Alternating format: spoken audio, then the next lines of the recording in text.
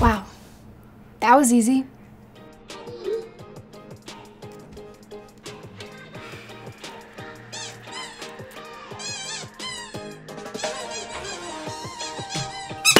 Look, I know it's gonna take some time for us to get used to sharing a room and everything, but I'm trying to get some work done here.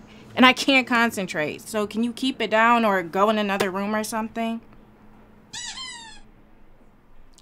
Going to Kalamazoo Valley lets me take courses I can transfer to other colleges, or I can go straight into the workforce. Either way, it saves me money. I can stay at home, and the company isn't too bad. And the food's not too bad either. Thanks, Dad. Oh, you're welcome.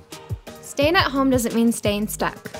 I can get some credits completed and get a little closer to where I want to be, which is not doing homework in my childhood bedroom. This is gonna have to change. But this, I can work with.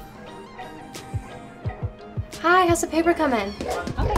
Not great. It's not always going to be easy. But when I'm having a hard time studying or choosing what classes to take, I can still get support from the staff at Kalamazoo Valley. Adjusting to the new normal can be challenging. The enrollment numbers are up. Things are looking very, very Uh, good. is this accounting 101? Who is that? Okay, sorry.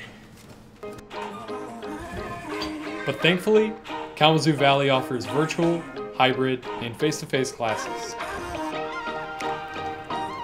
You won't be alone. You'll have peers and mentors to help you along the way.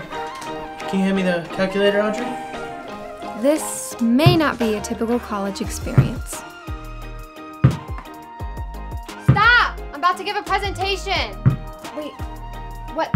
No! But I know I have people around me committed to helping me achieve my goals. Wi Fi's down! I got it. And at Kalamazoo Valley, the new normal means moving toward my future, no matter where I am.